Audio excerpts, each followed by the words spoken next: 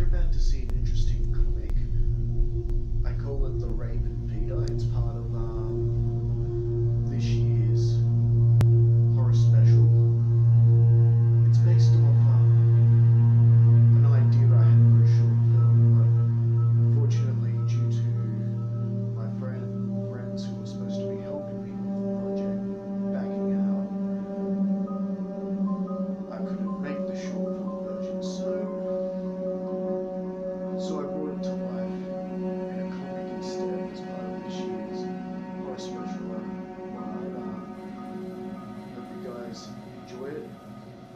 that's coming up.